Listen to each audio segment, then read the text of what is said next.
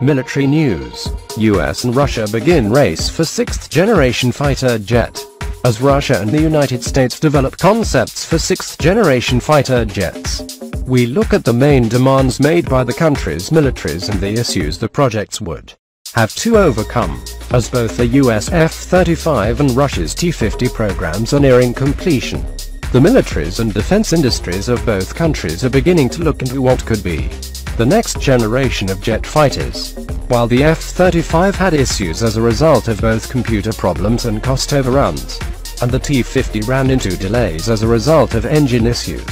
Both countries are now looking at what the next generation of fighter jets could look like. Currently, Russia's Sukhoi plans to present a prototype in the 2020s, while the US Boeing is planning a 2030 release date. If we stop now we would stop for good. Work on a sixth and probably a seventh generation are underway. I don't have the authorization to say much more than that. The head of Russian Aerospace Forces Viktor Bondarev said earlier in March. While Russia remains relatively secretive regarding the next generation fighter jet, the US military industry has released several concept designs aimed at tenders. The most creative thus far has been by Britain's BAE Systems, which proposed a modular design which would allow UFO-like rhombus-shaped jet to separate into different functions while in mid-flight.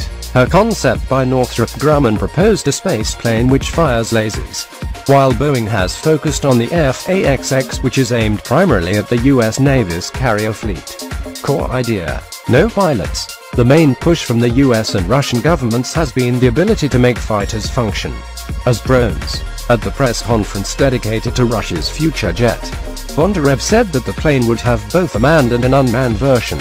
Bondarev then said that the shift to unmanned aircraft is in part because the human body has limits, presumably for both long flights and extreme maneuvers. Drone equipment, he said, is much more functional and low maintenance, and can withstand any g-force, referring to the human body's inability to survive plane maneuvers, leading to death or loss of consciousness. Can you imagine the possibilities that an unmanned fighter, bomber or attack aircraft has? Bondarev said in early March. U.S. Secretary of the Navy Ray Mabus similarly said in 2015 that the unmanned carrier-launched Airborne Surveillance and Strike UCLASS program could lead to the production of an entirely unmanned jet. What we're looking at UCLASS is to be the bridge between manned systems and completely autonomous unmanned strike which will be sometime in the 2020s to develop that program using UCLASS to get US there, Mabus said then. However, strike abilities could be put off for the UCLASS, as the US Department of Defense sees the aircraft's role primarily as an aerial refueling vehicle, while the US Congress wants a stealthy strike aircraft. Past issues, when it comes to learning from mistakes, the chief issue for the US has been whether to make a joint strike aircraft like the F-35, which would be largely similar whether it is used for the Air Force, Navy or Marine Corps. The F-35's greatest issue in that respect was that it essentially failed to come out as a joint service aircraft, as the interchangeability of parts was limited to 20%, less than the 70% expected in initial designs. You ought to think really hard about what you really need out of the sixth generation fighter and how much overlap is there between what the Navy and the Air Force really need. Air Force LT. Gen. Christopher Bogdan said Thursday, cited by Defense One. In Russia, all ground forces aviation was transferred into the Air Force in the 1990s, and only one aircraft cruiser is currently operational.